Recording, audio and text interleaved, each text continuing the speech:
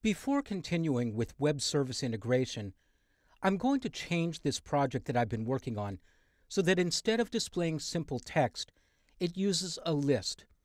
So I'm working in a new version of the project called Display List, where I've already made some code changes and added one asset. The asset is this layout file, itemflower.xml, in the resource layout folder. This layout is based on a layout that I used in the course Android SDK Essential Training. It's designed to be used with a list activity, a special kind of activity that knows how to display a list of data. This particular layout will display an image on the left and a text view on the right. And in this exercise, I'm just going to retrieve the data from the web service and display just the text. We'll save the image for later.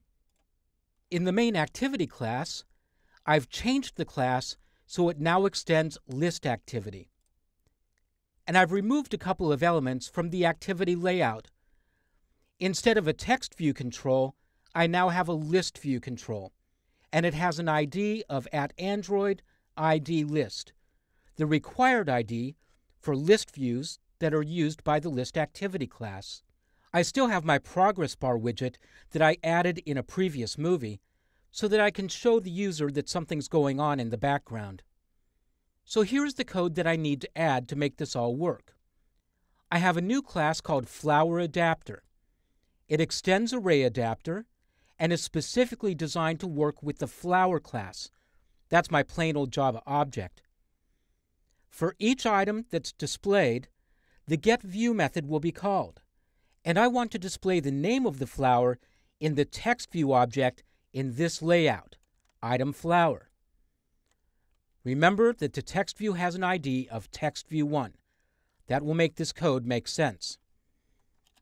So first, I need to get a reference to the current flower object. I'll declare a new variable data typed as my pojo, flower, and I'll name it flower. And I'll get its reference by calling flowerlist.get and I'll pass in the value of position. That's this parameter that's passed in when the getView method is called. Next, I'll get a reference to the text view. I'll declare a text view object, I'll name it TV, and I'll get its reference by calling view.findViewById and pass in the ID of the text view, r.id.textView1. And I'll cast that as text view. Finally, I'll set the text for the text view object with tv.setText, and I'll pass in flower.getName. So each time a new flower data object is being displayed, a new view will be created. The getView method will inflate the layout for the item in the list It'll then go get the reference to the current data object using the position, and then it'll get the name of the current flower object and display it in the text view. I'll remove this suppress warnings annotation, it's no longer needed, and save my changes. Now I'll go to the main activity class. In the main activity, I'll go to the method update display. This method used to have code that looped through the list of flower objects and displayed each of the flowers' names, one line at a time, by simply appending to a text view. But now I'm going to use the flower adapter class and display this in an actual list. So I'll place the cursor after this comment, and I'll create an instance of my flower adapter class. I'll name it adapter, and I'll instantiate it with the constructor method. I'll pass in this as the context, the resource ID of my layout, r.layout.itemFlower, and then I'll pass in flower list, the list of data objects that I want to display. Within that constructor, I'm taking that data and saving it as a field so I can easily get to the data later. Going back to main activity, now I'm ready to actually display the data.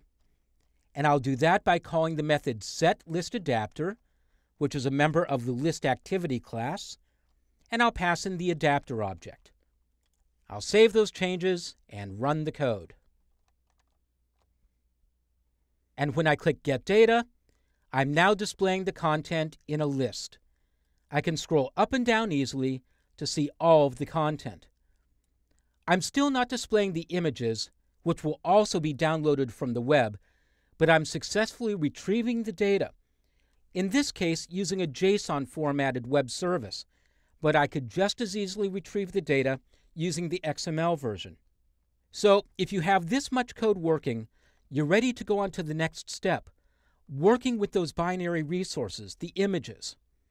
The images are not specifically a part of the web service, but they're associated with it, and working with images that you download from the web in concert with the web service is a very common application requirement. So I'll show you how to handle that requirement in the next set of movies.